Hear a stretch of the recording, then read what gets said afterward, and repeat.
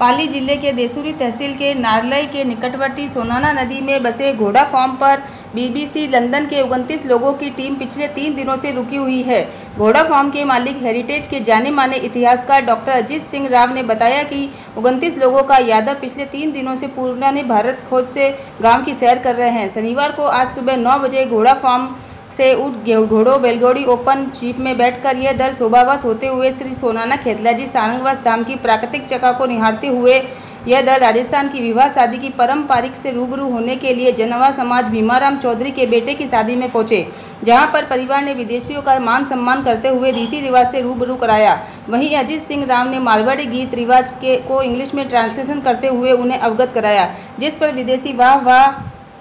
कर खुशी ज़ाहिर करते रहे। विदेशियों ने जमकर शादी का आनंद लिया। यह परिवार के साथ कुल मिलकर एंजॉय करने लगे। वहीं यह दल प्राकृतिक नज़ारे को देखते हुए आना गाँव पहुँचा, जहाँ गाँव का भ्रमण कर,